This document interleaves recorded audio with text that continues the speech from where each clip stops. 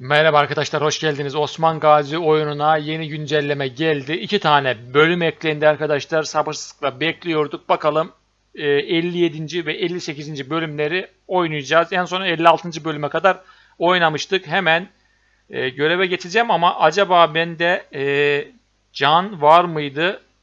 Olmayabilir. Bir deneyelim. Geçemezsek can alıp gireriz.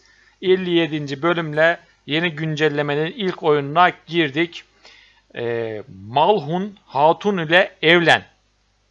Evet canım bir tane varmış zaten. Büyük ihtimalle bu bölümde bu görevde savaş olmayacak gibi hemen bugün evleniyoruz galiba. Hemen ya, hızlı hızlı gidelim. Noktaya geldik. Evet konuşma hareketini yaptık. Allah'ın emri ile bu arada yazılar eklenmiş.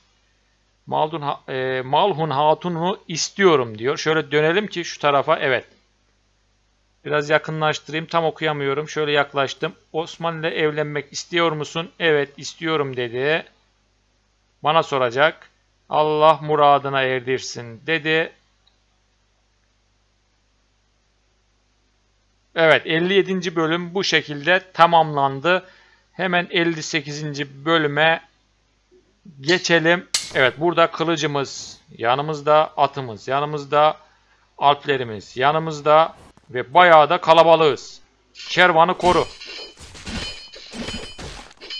Aslında attan insem mi? Attan insem belki daha iyi ama şöyle yapalım.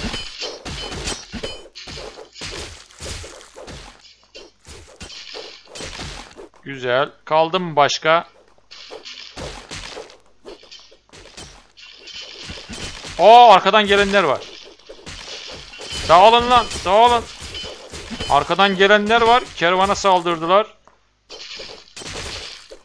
Evet yeni güncellemede arkadaşlar vuruş hissi daha gelişmiş gibi hissettim. Çünkü e, bir önceki bölümlerde vuruşlar biraz zordu atın üzerinde. Şu an gördüğümüz gibi daha rahat vurabiliyoruz. Evet fark etti.